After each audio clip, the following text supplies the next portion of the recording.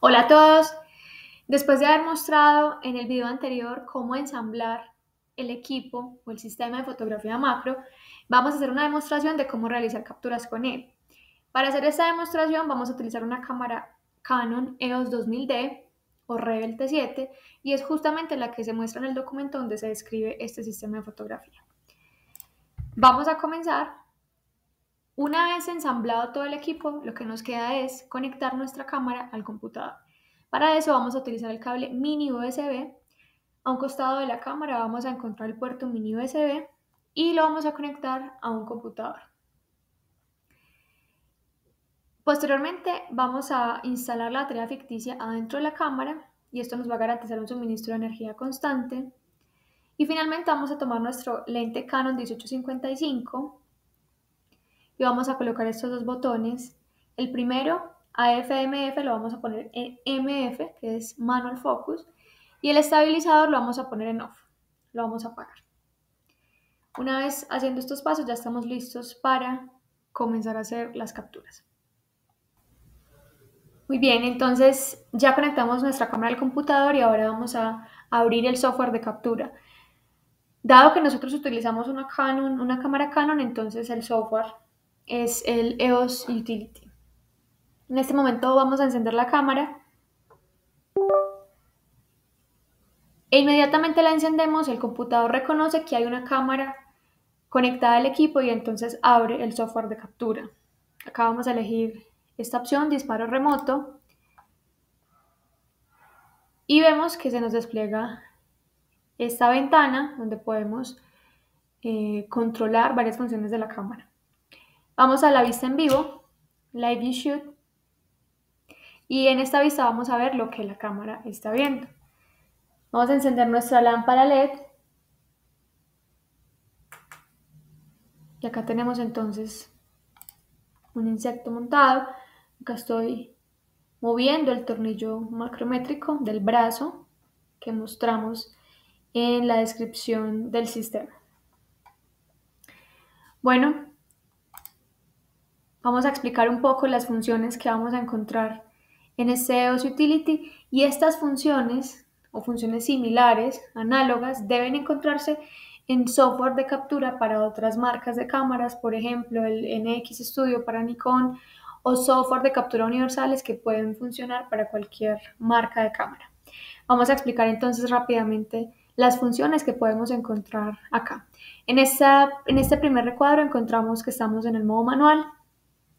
Eh, este icono indica que la batería está conectada a la corriente. Si estuviéramos utilizando la batería recargable, aquí aparecería una barra de estado que nos indicaría cuánta batería tenemos, cuánta nos queda. Por acá tenemos el modo automático, modo manual. Nosotros estamos en modo manual, manual focus. En, esta, en este icono de carpeta podemos seleccionar a dónde van a ir las capturas que vamos a tomar, dónde van a ser almacenadas. Dando acá en Browse podemos seleccionar eh, una carpeta de destino para nuestras imágenes, así como poner un nombre, entre otras funciones. Bien, en este segundo recuadro vamos a encontrar otras funciones y esta primera de acá es la velocidad de obturación, que es el tiempo que el obturador de la cámara permanece abierto, es decir, el tiempo que el sensor está expuesto a la luz. Cuanto más tiempo esté abierto, más luz incidirá en el sensor y más brillante será la imagen. Por lo tanto, a números bajos, números pequeños de velocidades de obturación, vamos a tener menos luz en nuestra imagen, mientras que a números altos vamos a tener más luz en nuestra imagen. La velocidad de obturación a elegir también es una cuestión de gustos y también depende mucho de la iluminación externa que tengamos, de la potencia de luz externa que tengamos. En este momento, por ejemplo, yo voy a elegir una velocidad de obturación de 1 sobre 80 y creo que puede funcionar acá. Tenemos también el ISO, que es la sensibilidad del sensor a la luz. A mayores valores de ISO vamos a tener imágenes más brillantes, como lo podemos ver acá, pero con mayor ruido electrónico. Entonces no son muy recomendables eh, valores altos de ISO para el tipo de fotografía que hacemos nosotros, que es macro, macro extremo. Entonces, en nuestro laboratorio nosotros normalmente usamos ISOs de entre 200 y 400 y máximo 800. Para esta demostración vamos a utilizar un ISO de 200. Esta función no es de interés para nosotros en el modo manual porque indica cuántas imágenes van a ser tomadas por cada disparo, pero nosotros realmente solo tomamos una imagen por cada disparo. Este es para cuando tenemos modo automático y le pedimos, por ejemplo, que haga una ráfaga. Pero bueno, ese modo no es de interés para nosotros en este tipo de fotografía con este sistema. Vamos con el balance de blancos, es la función que está acá. El balance de blancos eh, sirve como base para la corrección del color, sirve para hacer que las áreas blancas sean realmente blancas.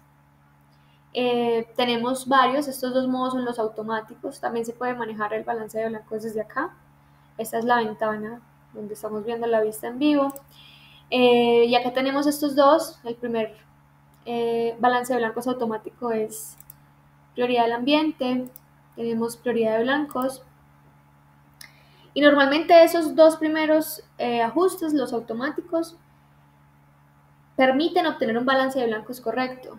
Si no fuera suficiente o si no nos gusta el resultado que nos da, entonces podemos explorar los otros modos que hay. O también podemos seleccionar eh, el balance de blancos correspondiente a la fuente de luz que tenemos. Por ejemplo, si tuviéramos una luz de tungsteno o luz fluorescente bueno, va a depender mucho también de la fuente de iluminación externa que tenemos. Este balance, el shade, a veces también funciona muy bien para insectos, porque con, esta, con este balance a veces se obtienen fotos con tonos de color natural, que es una característica altamente deseada para, para, nosotros, porque queremos siempre, en la medida de lo posible, mostrar al insecto como es, mostrarlo con sus colores naturales. Así que esta, esta opción de balance de blancos suele funcionar, pero podemos explorar o, o utilizar uno de los modos automáticos. Tenemos por acá la resolución y es si queremos imágenes de tamaño grande, mediano o pequeño. Para el tipo de fotografía que nosotros hacemos, que está destinada sobre todo a publicaciones científicas o a presentación de trabajos en eventos académicos con un tamaño medio o pequeño es más que suficiente. Tamaños grandes se eligen sobre todo cuando necesitamos imprimir imágenes en gran formato, como para hacer póster, eh, pero no es nuestro caso. Además, elegir los tamaños medios y grandes aumenta la capacidad de procesamiento, aumenta los tiempos de procesamiento, aumenta también el, el apilado. El proceso de apilado de imágenes es mucho más lento, entonces no se recomienda para, por lo menos para fotografías para publicaciones científicas o porque necesitamos en un tamaño pequeño, en el resultado final no recomendamos este modo. M y S. Elegir uno de estos, eh, por ejemplo, la que tiene borde liso, este cuarto de círculo con borde liso, es preferible porque se refiere a la calidad de la imagen.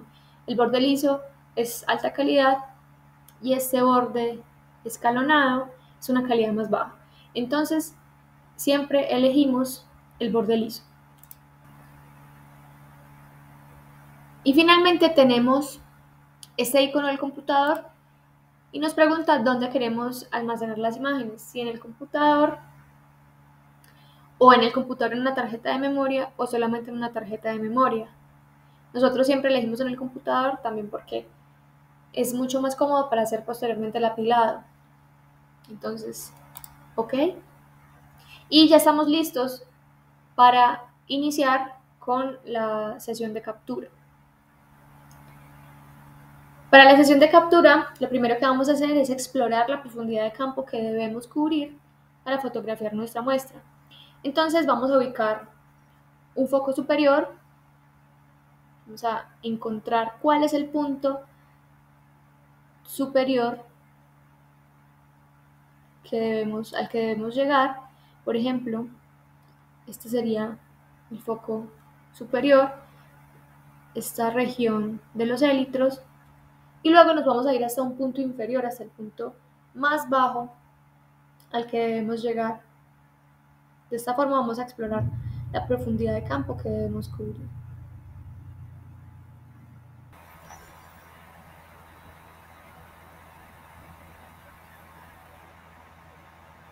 Muy bien, entonces una vez que hemos ubicado nuestro foco inferior o la estructura que va a aparecer primero enfocada en el plano, en el plano inferior, entonces la vamos a ubicar. Y en este caso sería esta región de los fémures, acá vemos que aparece en foco, entonces cuando encontremos ese primer punto de foco inferior, vamos a hacer, vamos a presionar barra espaciadora para realizar la captura. A partir de ese momento vamos a hacer movimientos muy finos con el tornillo micrométrico.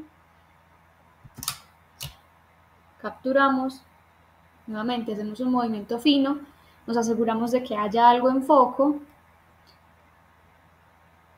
y realizamos la captura. Los movimientos con el tornillo micrométrico deben ser finos y siempre de la misma magnitud.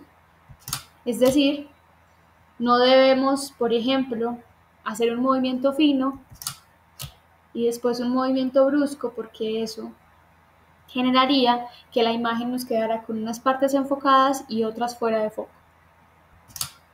Así que lo más importante es mantener constante el movimiento del tornillo micrométrico.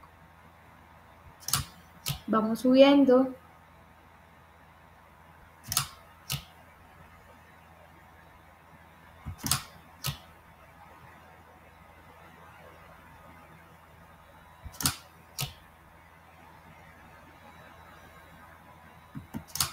Y de esta manera vamos entrando nuestras capas,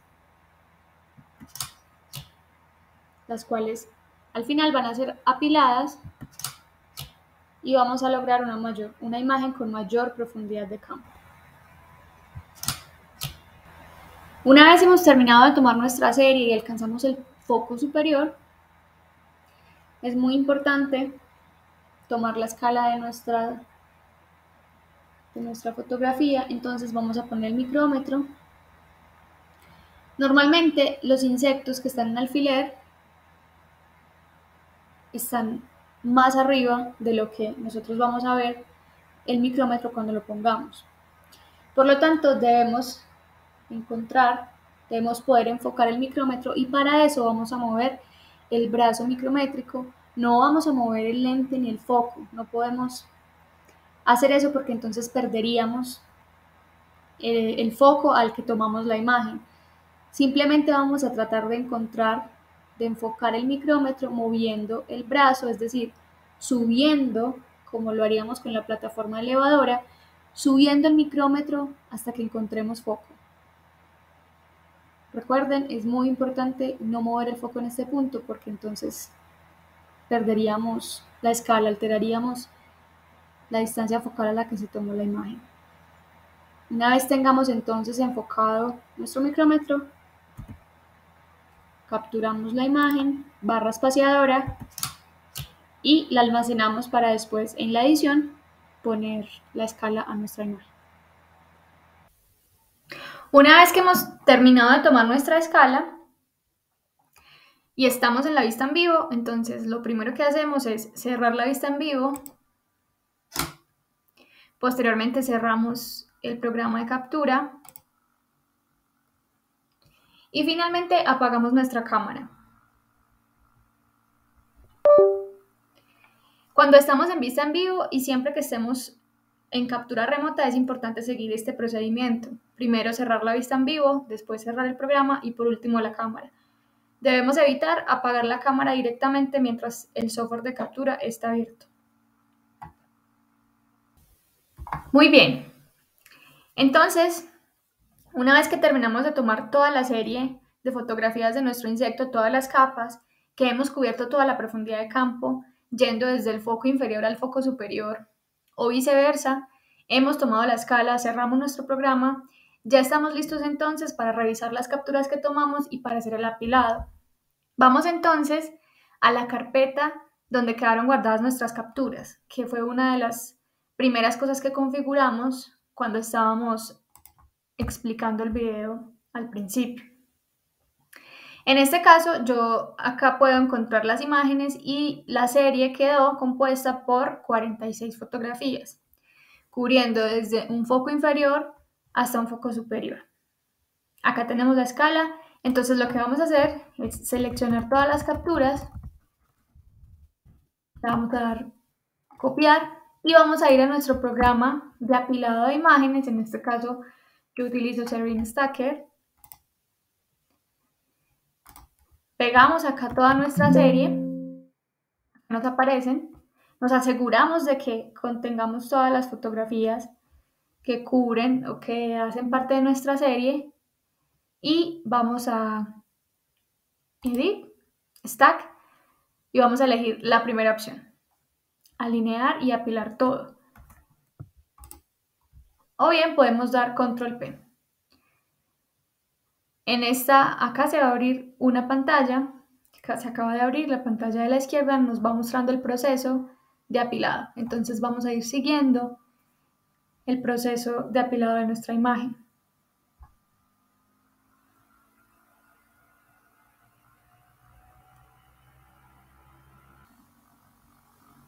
Bien, nuestro programa ha terminado de hacer el apilado. Vemos acá el resultado final. Acá tenemos la imagen de salida, la imagen apilada y para guardarla presionamos control S.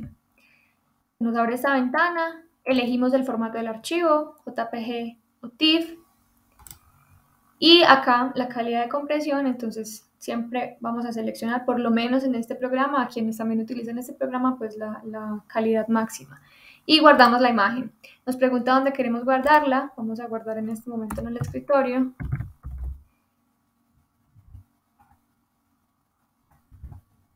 Cerramos nuestro programa y ahora sí nos podemos ir a revisar la imagen para ver si cumple con lo que nosotros queremos, si se pueden ver bien los detalles, hacemos zoom, evaluamos la calidad y si estamos conformes, ya tenemos nuestra imagen o si no, repetimos todo el proceso que, que demostramos.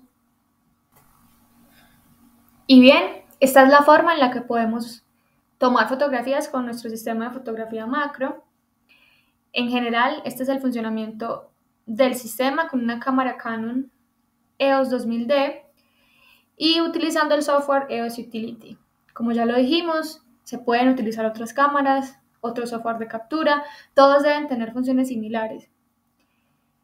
Como vimos, nosotros tomamos, hicimos la demostración con un insecto de tamaño medio, es un insecto que mide más o menos 1.7 centímetros de largo en vista dorsal, pero también, y esto lo hicimos con el lente Canon 1855. Como ya lo vimos en el documento, si queremos tomar fotografías de insectos más pequeños o caracteres morfológicos o estructuras genitales, podemos adaptar un objetivo de microscopio al fuelle macro y el proceso a seguir es exactamente el mismo. El proceso de captura es el mismo y ya todo depende de las características de la muestra, del tamaño. No solo podemos tomar fotografías de insectos, también podemos tomar eh, fotografías de algunas estructuras de plantas, por ejemplo. Podemos ir explorando el tamaño de objeto que podemos cubrir con nuestro sistema. Espero que haya sido de utilidad y hasta una próxima ocasión.